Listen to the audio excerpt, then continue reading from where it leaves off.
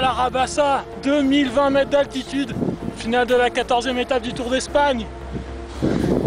Après quasiment 2000 km et 20 cols, voilà, j'atteins enfin la Shima Copie, le plus haut sommet de cette Volta 2012 et je suis complètement mort, mais je suis aussi complètement content parce qu'il me reste plus qu'une étape demain pour Barcelona et c'est quasiment fait. Et voilà, c'est mon troisième grand tour en, en 4 ans et c'est juste énorme. Voilà. Euh, à demain à Barcelone, j'espère.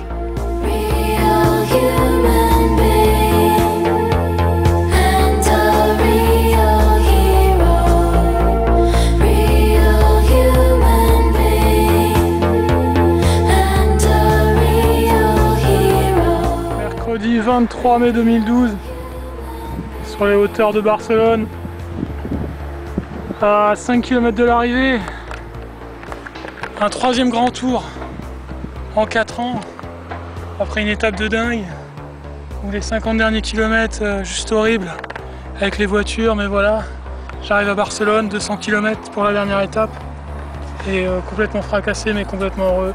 C'est un jour extraordinaire et je pensais pas pouvoir un jour euh, faire le tour d'Espagne, faire le tour d'Espagne et finir à Barcelone.